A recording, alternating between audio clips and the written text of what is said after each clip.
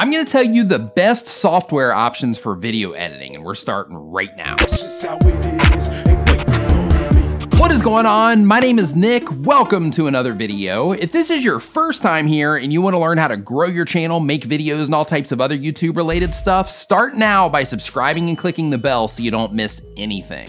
There are two free softwares on this list and there are two paid softwares on this list. And in order to make this list, I have the qualifier that the software that is on this list needs to be able to make pro quality videos. What that means is you have to be able to use multiple tracks, which basically means that you can stack videos or photos on top of each other so you can use B-roll footage and things like that in your videos. They also have to have multiple audio tracks so that you can add multiple layers of audio. That's so that you can add music music and sound effects or additional layers of music or whatever. Number one on this list is Adobe Premiere. It's a paid piece of software and it's pretty much the industry standard when it comes to really making your stuff look awesome. The really cool thing about Adobe Premiere is that they make everything for it. It doesn't matter if you're looking for color plugins, it doesn't matter if you're looking for like motion stuff, like whatever you want, they make it for Adobe Premiere. Because like I said a second ago, it's pretty much an industry standard. Adobe Premiere is also available for PC and Mac users, so it doesn't matter which one you're on, Adobe Premiere has you covered. Next up on this list is Vegas Pro, and this is what I use. It is a fantastic piece of software. It's not Adobe Premiere, but it's still a high level software. It allows you to do tons of really creative things and it really gets the job done. I mean, you can watch any of my videos and you can see all the different things that I do. As a matter of fact, here's a little clip for you of something that I made in Vegas.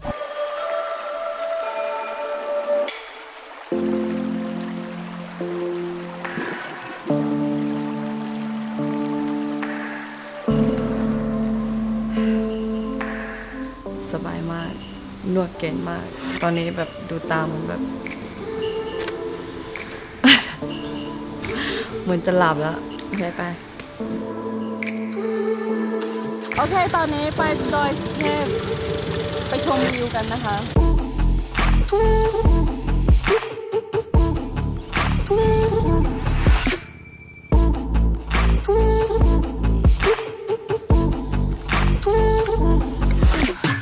Now, to my understanding, Vegas is PC only, but if you are a Mac user, you can default to Final Cut Pro, and Final Cut Pro is also another very high level editing software. Again, it's not Premiere, but it really gets the job done, and it's really all that you need in terms of all of the different features that it has. My buddy Brian G. Johnson uses Final Cut. I'll actually put a link to him right up here if you want to go check out his channel and see how his videos are edited and how all of that stuff comes together inside of Final Cut. Some free software is HitFilm Express. HitFilm is an awesome piece of software. It even has built-in motion graphics to where if you wanna have explosions and things like that, you can do pretty much all of it inside of HitFilm Express. It's free, they have tons of awesome stuff inside, it's really easy to use, and it's, it's just awesome. Especially if you're on a budget of some kind or you're just starting to make videos and you're not really sure if it's gonna be something that you're gonna do long term, you don't have the money to invest, you don't want to invest in it yet, HitFilm is a fantastic solution for you. Also, if you are editing videos on your phone currently, or if you're wanting to edit videos on your phone, I'm gonna put a link to another video up here that is specifically for phone users. Phone editors, I mean. Next up on the list is DaVinci Resolve. Now, DaVinci Resolve is a pro level editor in terms of like their color correction capabilities and just their editing capabilities capabilities in general. It's a fantastic piece of software, and a lot of people really recommend it as the go-to free software for video editing. And if you wanna learn more about growing your channel, making videos, and all types of other YouTube related stuff, start now by hitting the round subscribe icon so you don't miss anything.